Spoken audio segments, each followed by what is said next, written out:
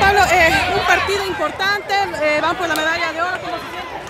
Bien, bien, porque estos jóvenes se sacrifican mucho, eh, un partido muy difícil ante una gran selección, este, así que la verdad que nos sobreponemos a muchas adversidades y es muy elogiable lo que hacen estos jóvenes y también nos muestra que trabajando a futuro, Dios quiera Bolivia siga creciendo. Esta categoría sub-17 se ha mostrado bastante bien, más aún eh, frente justamente a República Dominicana cuando vamos a Sí, sí, en ambos partidos muy bien, a todo lo que le tocó participar lo, lo han hecho muy bien, defendiendo lo más importante que pueden defender eh, en su profesión o en lo que están arrancando como profesión, que es la camiseta de la selección boliviana, y lo sienten así y ves que los chicos salen eh, dejando todo. Ese es el verdadero triunfo, que los chicos dejen todo, que compitan hasta el final y evidentemente si se gana todavía mejor.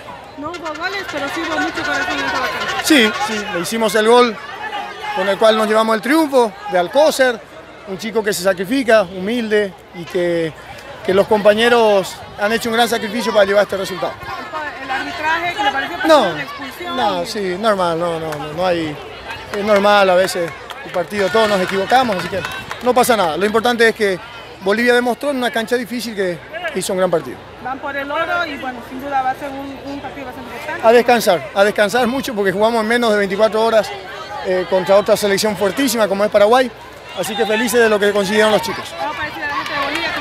Un saludo y que apoyen a los jóvenes, que este es un proceso que inicia recién, que con apoyo, que con infraestructura, que la Federación Boliviana nos está dando, necesitamos seguir con ese apoyo, es fundamental. Así que eso, y un gran saludo, y a estos chicos, principalmente a la familia de los chicos que deben estar orgullosos. Gracias, gracias.